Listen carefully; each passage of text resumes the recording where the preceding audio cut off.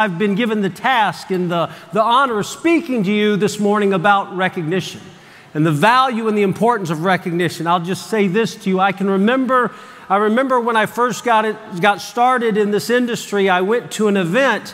And after I, I mean, I was brand new. I was a week old. I was a baby. I was 30 years old. And I left the event. And I remember this was long before the internet, long before cell phones this was when we had calling cards, when you would actually take a card and go to a payphone. Some of you don't even know what a payphone is. But we would go to a payphone and you would put in those 18 numbers, or it seemed like 400 numbers. And when you got to number eight, somebody had stuck gum in number eight. And you had to go to a different payphone, and that one was cut off, and you're panicky. How am I going to get to a payphone that works? But I remember I left this event and they gave me 10 cassette tapes. There was no MP3s. There were cassettes. Some of you remember eight track tapes. Thank you very much. But there, they gave me these 10 50 minute cassette tapes. And I know what they did. They did what you do with people every day. You give someone information and you think, well, maybe in three months or six months or, or nine months after you listen to each one of these tapes, maybe you'll have some interest. And that night, I listened to 10 50 minute tapes. The sun was coming up, and I was finishing the last tape. Seven of those 10 tapes were recognition tapes. Seven of those 10 tapes were stories of people and the things they went through in their life. And it was stories from them on stage talking about, about the, the struggle, the obstacles, and struggle, the obstacles, and the victory. And it was, it was this, this emotional moment for me sitting in my living room in Tampa, Florida, 30 years of age, wondering if this would work for me, listening to these 10 cassette tapes. I remember that night I gave my first speech. It would be like giving a platinum speech. I can remember walking around our coffee table saying, We are so honored to be platinums in this bit. I remember that. Have you given your speech yet? Have you said the words yet? Have you spoken the words yet? Recognition. Recognition. I gave my speech that night. I remember, I remember when I was the equivalent of a silver presidential in a particular organization. So, the equivalent of a silver presidential, and I was sitting in a meeting room just like this. And a guy who was the equivalent of a national director came up to me and said to me, Boy, I wish I had you in my group. And I said, Well, thank you. I appreciate that. It would be an honor to be in your group. And I said that he was with one of his new guys, this guy who had on a badge that, that, that, that, that basically said, This is my first event. So I've got the equivalent of a national director with the new guy talking to me who at the time was the equivalent of a silver presidential. He said, Man, I wish you were in my group. And I said, Boy, it would be an honor to be in your group. And then I heard, Ladies and gentlemen, please take your seats. We're going to we're to begin our recognition. Then I immediately sat down to listen and see and applaud and be a part of recognition. And I remember that gentleman that was the equivalent of a national director turned to leave, and his new guy said to him, Where you going? And he said, quote, Ah, it's only recognition. And I remember as he walked away, taking this new person away from this moment, I remember thinking, thank goodness I'm not in your group. Thank goodness I'm not a part of that. Thank goodness I'm not a part of somebody that wants to hold their seminars in the hallways. Thank goodness I'm a part of, of listen, people work, they have garage sales, they work overtime. They get spare jobs, extra jobs to come to an event like this. And unfortunately, sometimes somebody in their upline who doesn't get it, who doesn't understand the value and the importance of recognition, puts them in a position where they may travel thousands of miles to come to this moment and miss it by 20 feet because they're out in the hallways. Recognition is critical. It's the story. It's not just the training, because when you listen to the stories, when you see the people walk on stage, you're watching a story unfold right before your eyes. Because what you see on stage are the living words of Albert Schweitzer example is not the main thing in influencing others, it's the only thing. It's the example. People don't care what you say, they care what you do. People don't follow what you say, they follow what you do. Moliere said, All men are alike in their dreams, and all men are alike in the promises they make. What makes them different is what they do. And what you see on stage during a moment like this, during recognition, is, is, is, is, is that those words coming to life. Diane Ackerman said, quote, I don't want to get to the end of my life and find that I lived just the length of it. I want to have lived the width of it as well. You know, you're going to watch people on stage, and I'm going to tell you there's common traits among all these people. You know, because there's a tendency to sit in an audience and feel alone, there's a tendency to feel like an ID number. I felt that. I've been in an audience of 60,000 people in the back, and you feel like an ID number. You feel like, you feel like you're, you're, you're a number in queue calling customer service. And sometimes it feels lonely, and you feel like, Am I like those people on stage? Can I be those people on stage? And you'll go through a lot of fears and a lot of doubt and a lot of questionings and what you don't understand. And I hope before this is over, you do. There's not a person on stage that hasn't had that same feeling. There's not one person that hasn't had that, but forget what makes us different. Because there's plenty of things that makes us different. I'm OCD. I guess that's one reason I gravitated towards doing this because it's so repetitious. Build a list, contact, invite, share the message, follow up. Build a list, contact, invite, share the message, follow up. Hey, let's do it again. Build a list, contact, invite, share the message, follow up. We have a lot of things that make us different, but when you watch the achievers, the people on stage, look for the commonalities, look for the, the common traits of achievers. Artists such as Leonardo da Vinci and Raphael or Rembrandt. There's common traits among great achievers. Political leaders such as Constantine the Great, Gandhi, or George Washington. Military leaders, Julius Caesar, Alexander the Great, or Genghis Khan explorers such as Marco Polo, Magellan, or Columbus, writers, scientists, inventors, philosophers, religious leaders. Many differences in their life, different cultures. We're here today from different cultures. I remember one time I was in Argentina and a lady stood up and she said, You're not from around here, through her translator. You don't know us. And I remember sitting there saying, When you go to bed at night, what do you dream about? A better life for your family, hope for the future to be remembered well, to do good in your life? And she said, Well, of course I dream those things. I said, Then it doesn't matter the language we speak, or necessarily the culture we live in, or the country we live in, because we all dream the same dreams in different accents and different languages. So when you see people being recognized, they all come from different places, but they have common things that make them similar. Let me give you four. Four things that, that you will find in all great achievers. Four things you will find in the people that are being recognized today. Number one, they all have focus. Focus. Specific intent. Everything you do, you must do with specific intent. Have you ever gone to talk to somebody and they say, you know, I would do this, but I'm a 100% guy. I can't do this because I can't give it 100%. Y'all ever met someone like that? It's all, oh yeah, I would, I would do it and I'd probably be really good at it, but I'm a 100% person and I, I just, I don't have the time to do this. Let me tell you something. I always politely look at those people and ask them if they have children and if they have a job. And if they have children and they have a job, then they're, they're, they're not keeping true to what they just said. The reality is this it's not doing this 100% of the time, it's giving it 100% in the time you do it. So if you can give it 100% in the time you do it, but they all have focus. Everything they do, they do with specific intent.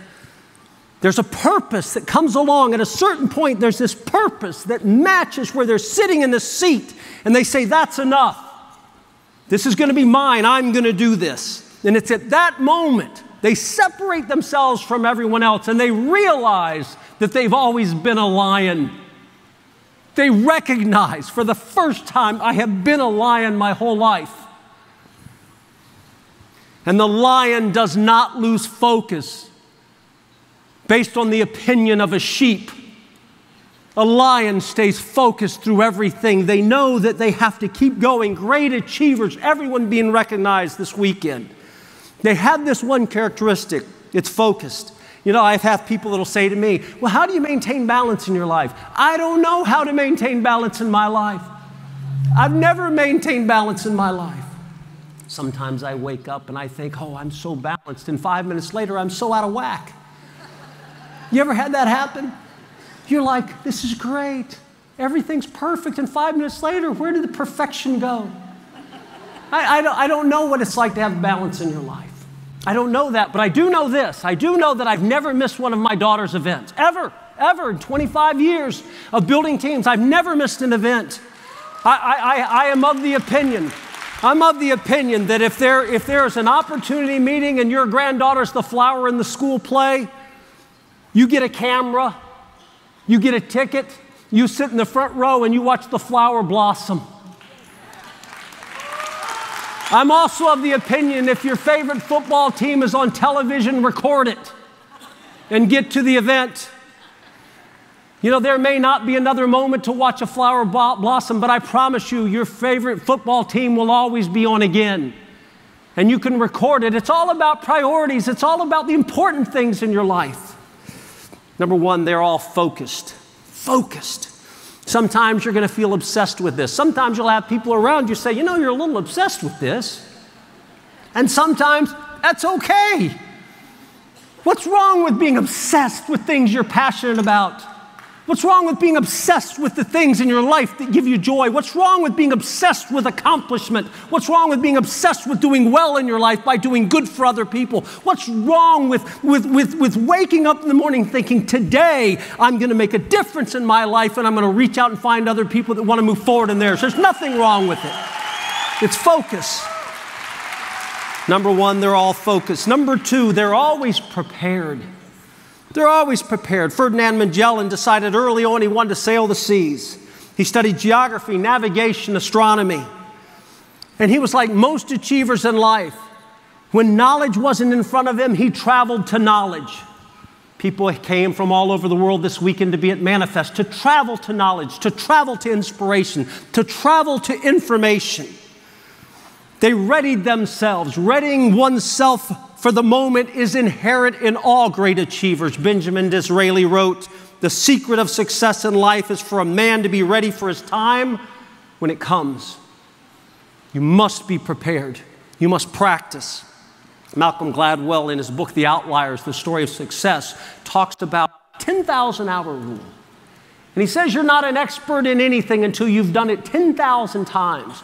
In basketball, it's 10,000 free throws, 10,000 hours playing the piano 10,000 hours. It's the practice, it's the repetition. The beauty of the achievers, the beauty of the people that have walked this stage is this. They recognized when they started, they didn't have to have 10,000 hours because in what we do and how we build teams, what you must do is, is, is, is find someone that's got 10,000 hours, find a leader with 10,000 hours, and, and maneuver your way on their shoulders. Stand on the shoulders of people with 10,000 hours. You'll earn money all along the way, and throughout the process, throughout the process, you'll gain your 10,000 hours of experience. Only in this, only in what we do, can you stand on someone's shoulders and earn a living and create a lifestyle while you're developing expertise. Number, number two, they're always, always prepared. Number three, a common trait amongst all the achievers you'll see on this stage is perseverance. My dear friend Andy Andrews says, persist without exception. Keep moving. Keep moving. It's lonely. It stinks sometimes. You feel so insignificant. This common trait of perseverance is the one that drives me the craziest. I hate perseverance. Napoleon said the greatest attribute of a soldier is not loyalty, it's not courage, it's endurance. It's the ability to keep moving when others quit. If you own a traditional business, it's amazing how all your employers are with you until about 4:59 in the afternoon. And then the, the, the, they punch out, they're gone, they're, they leave, and you are there alone feeling insignificant, feeling alone in our country, in the United States, at a critical time in the founding of our country, George Washington. You talk about feeling insignificant and alone. Perseverance is born and is, starts breathing when you feel most alone and most insignificant. And he walked in front of his troops that were freezing and they hadn't eaten and they hadn't been paid. And they weren't fighting as Americans, they were fighting as Virginians and Hampshiremen and Marylanders. And George Washington, this gentleman that felt very insignificant, who had not won many battles at all, ultimately would, would, would, would, would be considered the father of our country. But up until that point, he's losing and he's feeling insignificant. And he walked in front of his troops and he said, Let only Americans stand watch this night. And those words from a gentleman that felt insignificant and alone, that was trying to find a way to keep moving, those words gave breath to the Declaration of Independence of the United States of America. 1963 in this country, one of the greatest speeches in our country's history was given by Martin Luther King Jr. standing at the steps of the Lincoln Memorial, who quoted from the Declaration of Independence when years earlier, when somebody felt alone, when you're driving in a car by yourself, wondering if this will work for you, and you feel alone, give your speech. Talk about what it's like to be a platinum presidential. I was so honored to come in in the helicopter. Talk it, speak it. It's one of the three powers if you embrace and you start talking about it the right way, it's going to give breath to your own business. Perseverance. Edison worked week after week without a full night's sleep. He'd take cat naps under his desk. Michelangelo painted without rest in excruciating pain. He slept up on the scaffolding. They said that when he would come off, it had been so long, he would take his socks off and his skin would literally fall apart and come off with his socks. John Milton continued writing poetry after he was completely blind. Beethoven wrote some of his greatest works when he was totally deaf. Perseverance. He would cut off the, the legs of the piano, place it on the floor. They couldn't hear the music, so he would feel the music. There's times when you do this, and sometimes, whether you like it or not, you'll feel numb to some of it. You keep doing it. It's perseverance. It's perseverance. Number one is focus. Number two is always be prepared. Number three is perseverance. And number four, all great achievers, everyone that you'll see on this stage, every single body, every single heartbeat, every single soul that walks across this stage, they know there is a greater purpose. They know there's something bigger that moves them. Abraham Lincoln stated that he felt like he was a vehicle for God's work. When Handel composed the Messiah, he said that he disappeared and the work was completed by a power far greater than himself.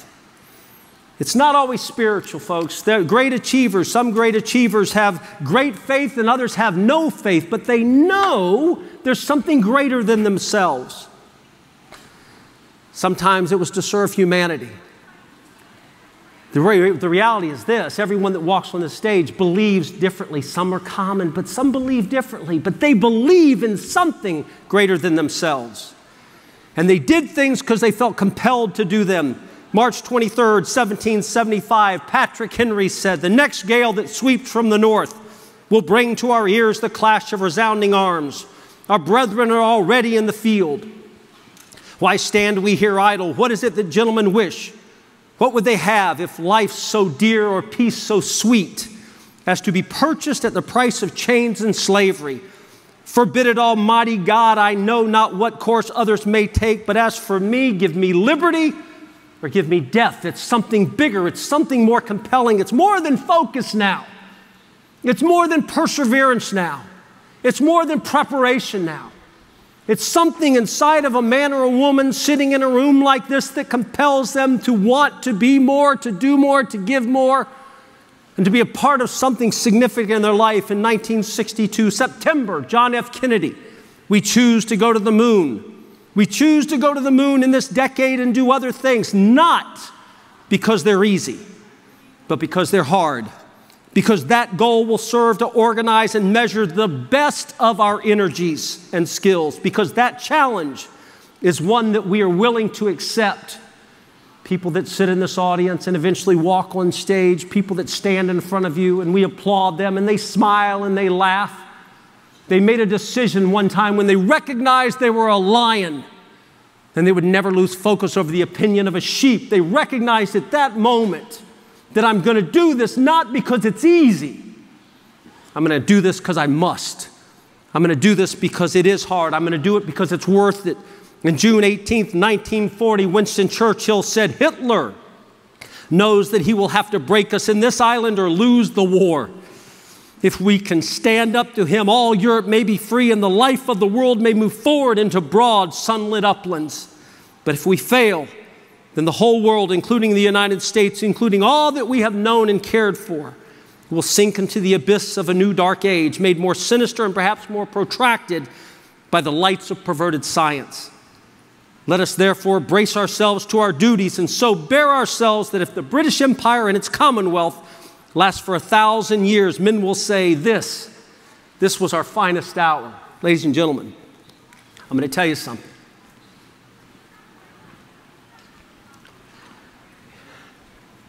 You know, the thing is, when you sit in the audience, when you sit alone sometimes, and there's people all around you and you feel lonely, you traveled, you, you spent your hard earned money to come here. You know, you worked hard. You decided at one point along the way, I'll be there. I, am sick and tired of hearing these people tell me I have to go. Enough already, I'll go. Some of you came just to let get people to stop telling you to go. You fought all the way here. Don't think I don't know how this feels. You fought. You argued in the car for 15 hours. You know, we can't afford to come. I know we can't afford to come, but they said we had to go. Do you do everything they tell you to do? If you did everything they tell you to do, we'd be further along than we are right now. You fought, you argued, you walked in, you went to registration, you walked into registration, and they looked at you, they go, How are you? you go, We're awesome. It's like all the, where was this person in the car that was arguing all the way? We're awesome, we're great. And then you get to your room and you start fighting again.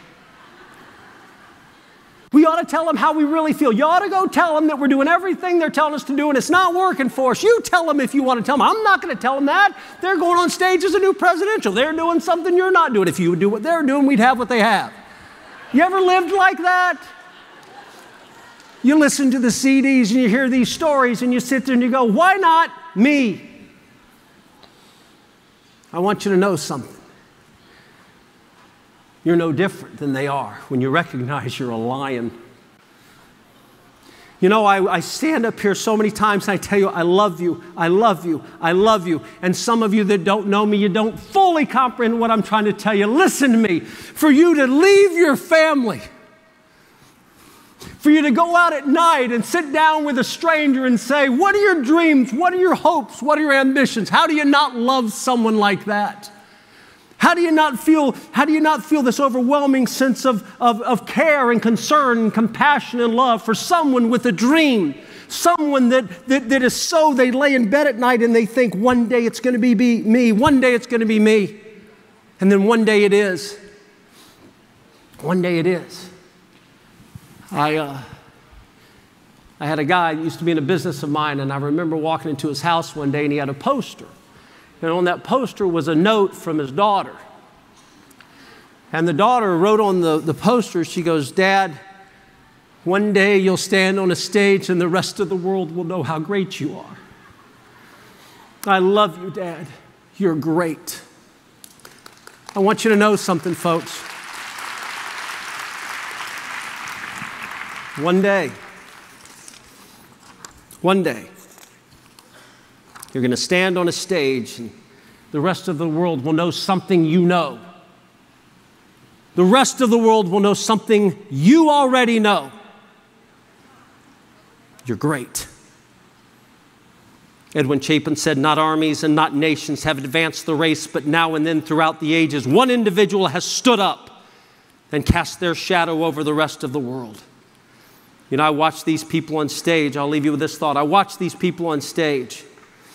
And I think about these people and how many times what you don't see is how many times they question themselves. Oh, they walk across looking good now. Million dollar club looking good. I can look good too. They walk across this stage and you're sitting there, and I want you to know this they sat there too. They sat right where you sit. They thought exactly what you thought. They came to a point they wanted to. Did you ever feel like you wanted to stand up in a meeting like this and say, because I have felt this my whole life, I'm here. I found you. I've looked for you. My, you ever felt like that? Did you wanted people to know you were there? Whatever seat you're in, you wanted to stand and say, guys, I knew you would be here. I knew you existed. I didn't know where to find you. But I've always had dreams. I've always felt differently than my friends. I would stand in a group of people and feel alone because I wanted to talk about the future. I wanted to talk about being free. This business will make your dreams come true. I'm telling you right now, what you have to do is decide today, today, that you, my friends, are a lion. You are a lion. It doesn't matter what a sheep says to you, the opinions are meaningless because when you walk out here knowing knowing in your soul that your moment's coming and you must prepare, you must persevere, you must be ready because we need you. This is your moment. Don't let go. Stay focused and know this business will make your dreams come true. God bless you. Thank you.